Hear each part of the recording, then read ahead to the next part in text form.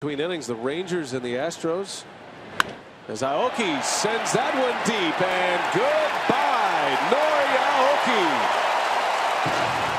His seventh home run. This one ties the game.